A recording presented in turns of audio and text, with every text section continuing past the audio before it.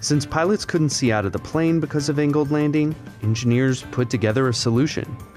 The Concorde featured a droop snoot. Droop snoot? Yeah, the snoot would droop.